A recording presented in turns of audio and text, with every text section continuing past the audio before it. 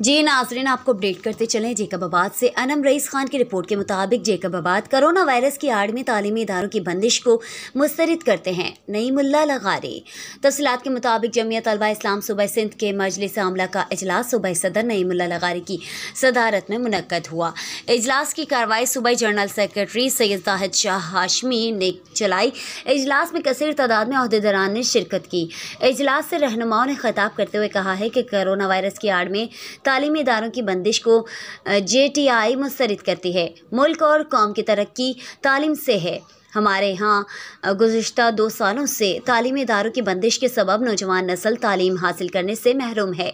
अगर मवेशी मंडी दीगर कारोबार छः बजे तक खोल सकते हैं तो तालीमी इदारों को भी एक बजे तक खोलने की इजाज़त दी जाए। इजलास में ये भी मुतालबा किया गया कि सूबह सिंध के तमाम अजला में लाइब्रेरी कायम की जाए। यूनिवर्सिटी और दीगर जायज़ तालीमी सहूलियात फराम की जाए और तमाम तालीमी इदारों को एस ओ पीज़ के तहत तालीमी सरगर्मियाँ जारी रखने की इजाज़त दी जाए।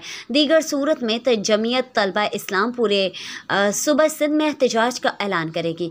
अजलास में सूबाई अहदेदारान सनाउल्ला सयाल, उसामा महमूद हालिजवी मोहम्मद अली दर्स, नूरुल हक, लाशारी, सदरुद्दीन, जुनेजो, अब्दुल करीम सिद्दीकी, महकमुद्दीन बरोही ने शिरकत की। मजीद अपडेट के लिए हमारे साथ रहिए।